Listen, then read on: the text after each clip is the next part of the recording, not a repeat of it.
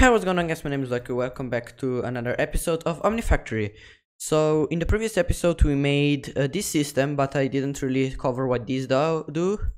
And this is a crafting storage and it's basically a CPU and it allows you to auto craft stuff. And these are the co-processing units and they allow you to make multiple multiple things at once. So for example, you could use the molecular assembler and then the Uh, other stuff that are here now. Also, I have changed the arrangement so we can now go here without having to go through M M ME machines, MV machines. And so it's much cleaner now that it's all on this side. And the power generation system is now here. I have nothing, I haven't changed it or anything. I just moved it. And this is a nice thing you can share conduits in a block. Uh, in today's episode, I want to build three automation circuits for uh, these components. Uh, if you go here, SMD, I want to automate transistors, resistors, and capacitors. So the first thing we'll do is automate capacitors because they're they're the simplest to automate. So I have prepared the machines, and for the capacitors, we need fluid extractor, assembling machine, CEF, interface, and cluster mill. So cluster mill, you don't know what it does. It just makes uh, from uh, from sheets of polyethylene. It makes them into polyvinyl into make them into um, uh, foils or thin polyvinyl chloride sheets. And the way we're going to do this is first place a CEF down here. Yeah, let's say here Oh, it can't face up. Can it? Is it is it facing down or is it just facing in a random direction? Yeah, it's facing here. So I guess I have to do this and then fill it with dirt and then bring the cables up and this is a four times so it won't burn these four times cables and for this thing, you we only need three. And the assembling machine goes into the middle, and I'll put that in last, just because we need to make some adjustments first. The cluster mill will go above, and we need to enable auto output to the bottom side. And the fluid extractor will go into the bottom, and we need to auto enable that as well. And then the assembling machine will go into the middle. Now we need to place an interface and actually need to grab some cables, not cables, uh, oh I have those. Uh, I need to grab a container, I believe, or a chest in this case. And I can just put a chest in here and just do this auto output and do this and put this here and hopefully it will automatically detect it. Oh yeah. Hopefully it will automatically detect it but for us to do that we need to connect it to the system first. And hopefully I have enough cables for this so I will bring this through here like this. And yep there we go. And hopefully we can detect it that it now has a chest here. And I believe we can directionalize it. What does this do? Oh. Okay like this. So it will only output in this direction. And now what we can do is oh no that's the wrong one. Now what we can do is delete this first and then go grab some item conduits. Item conduits there we go. And put one here.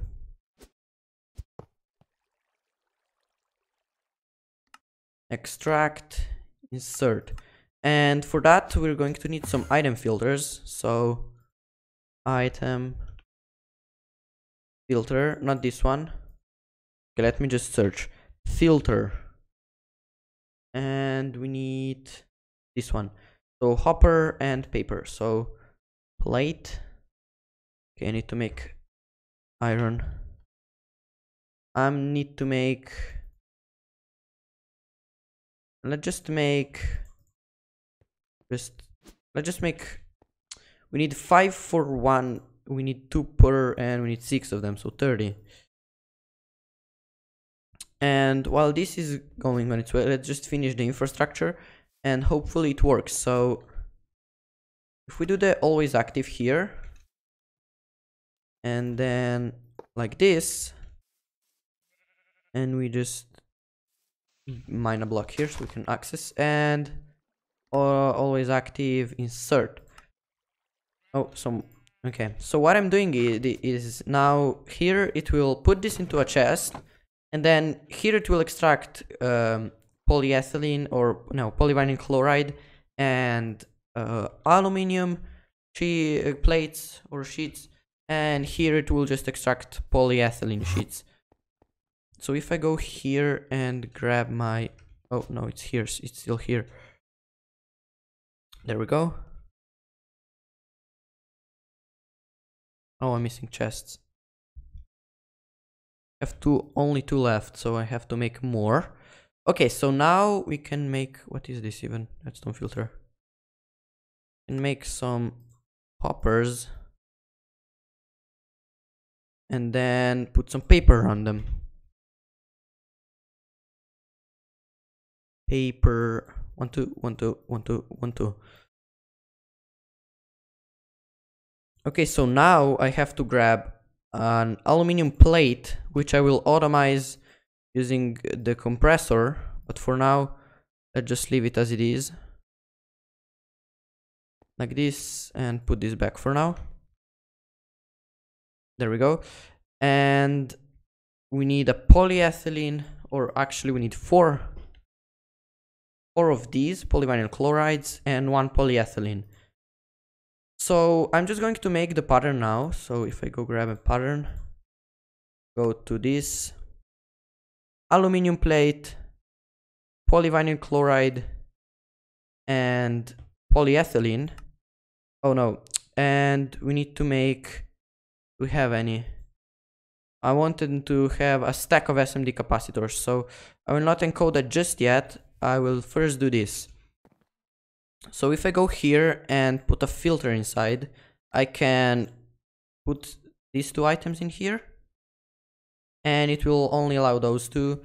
And down here to break this block again I will only allow the polyethylene. Like this. And if we connect them to power I'm just going to mine this bit out and connect them to, to power through here. So only insert. Oh. So this should be full of power now and if I put these three inside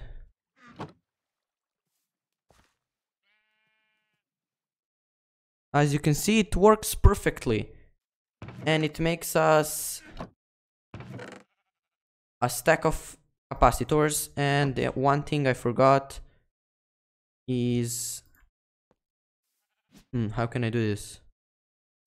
Oh, I have an idea. Hmm. No, I don't actually. So we need to output it to this somehow. And I can't do that with a chest unless I use item conduits. So for now I'm just going to use those. Tract always active, insert always active. Or, yeah, it's a probably a better approach to just delete this chest, grab these two first, and then break this chest and put this interface here. Uh, where's my pickaxe? Put this interface here. I, I, I have no idea how, how I can do this. And I can connect this here, extract, insert, and put one of these filters in here. Yep, this one and the other one like this can I no I can't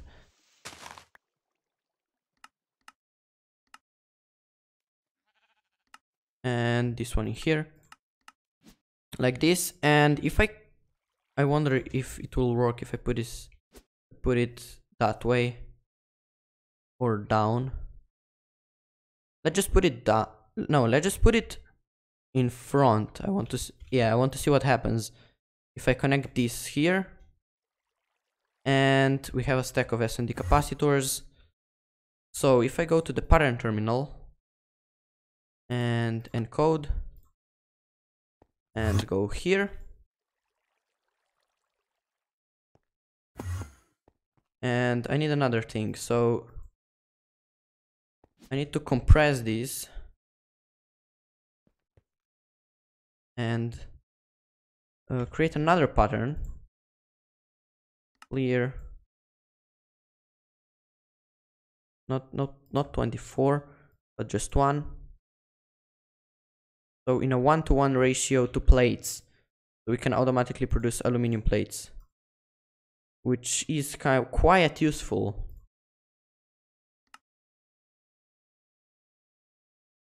Okay since we have two of these let's just okay first we need to get to my Yeta wrench and somehow get behind. This is the wire mill this is the master the compressor yep. So I have to turn it around. Or do I need a crescent hammer for that.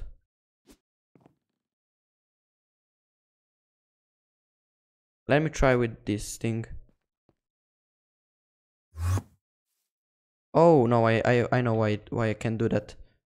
It's because I just break this alloy smelter. There we go. Now I have to get this alloy smelter back somehow.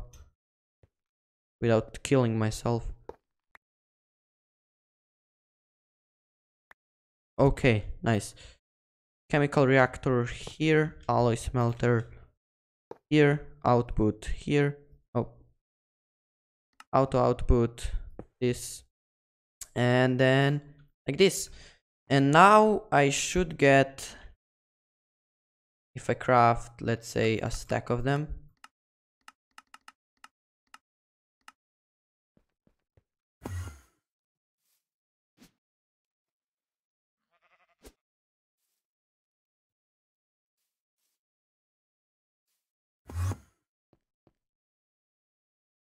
What's going on? Stored, stored, stored. Scheduled. So it looks like it doesn't work because it isn't connected to anything. As you can see, as, as soon as I put it there, it works. So I'm just gonna have to do this one manually. And... Oh, I know, we can just How do I undirectionalize this? I can't, can I? Okay, so I have to break it. And place it back. It, it won't go into the assembler because it can't, because it's set to not go into the assembler because it can't get output from input from the output side. So if I go to SMD again,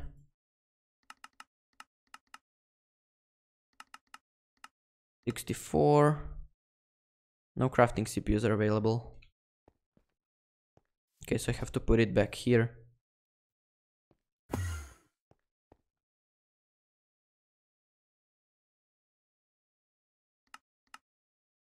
Let's see.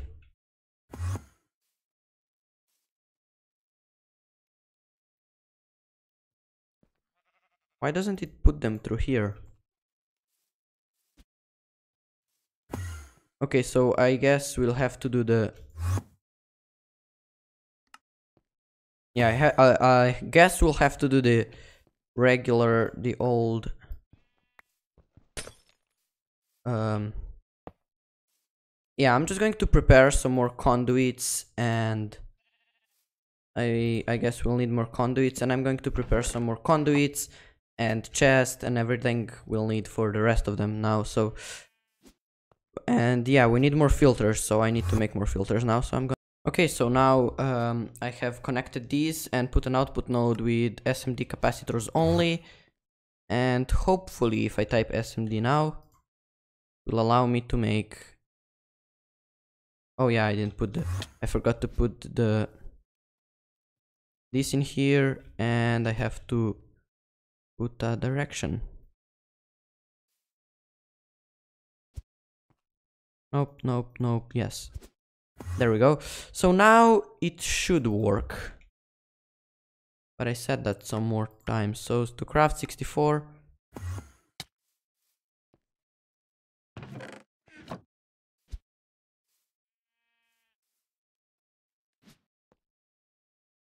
I don't understand what's wrong.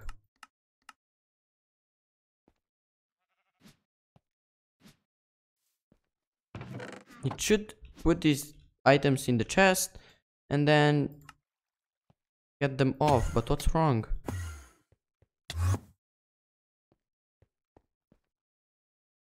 Scheduled one stored. Okay, so aluminum plates aren't working this time.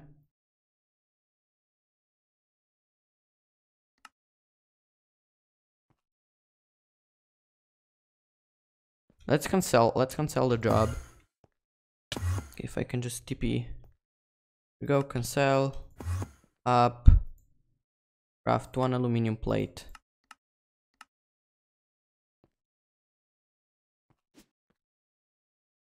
Why isn't it working? Oh, no, what, why? Wait, what?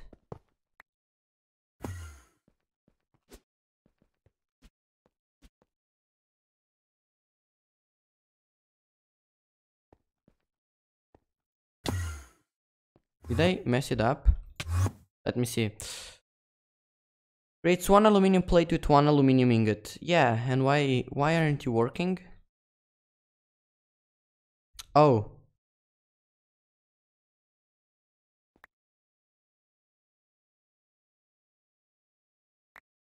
Because I haven't put the screwdriver.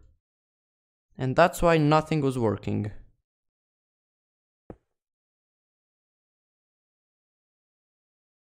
Yeah, there we go.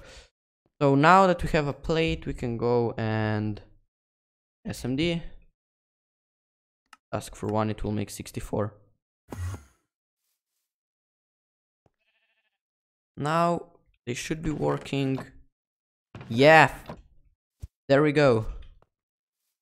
Okay, so huh, it took me nearly 20 minutes to build one of these.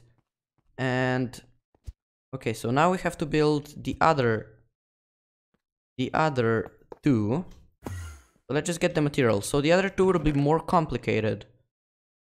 So I'm thinking of, yeah, I, I, I think I will probably, I'll probably leave them for the next video because this is kind of a long one as of itself. There is only one more thing I want to try. And this is, no, it won't work. I don't think. I can try it again. Two. And then if I remove this, remove the chest, put this here, and another cable, and put this here. So hopefully if I try it now, SMD, just want to make it more compact. No crafting CPUs are available.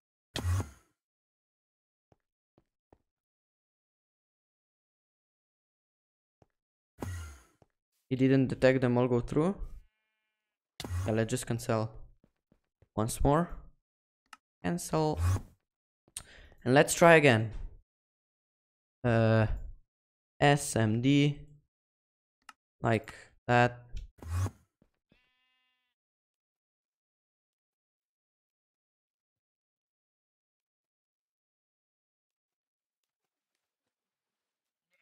No, it won't work. So we have established a system that doesn't work and we have established a system that does work. So in the next episode, I'm hoping we can get uh, them all set up as this one.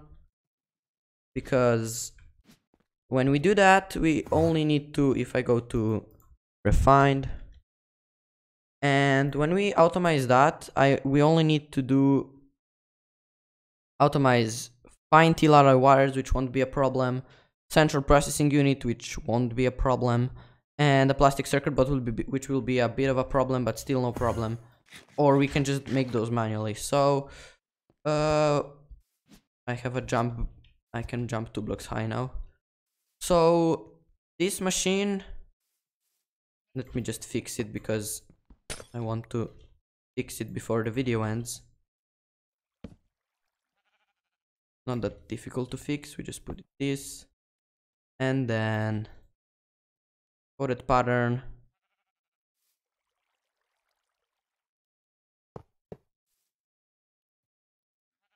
we, we could probably also use wait let's try and use that one. And set up this one not to insert but to prioritize these and insert and prioritize these uh, insert as well. And this will be more compact only 2 by 2 by 3 2 by 3 2 by 2 by 3 by 2 by 3 by 3 okay so let's test this again.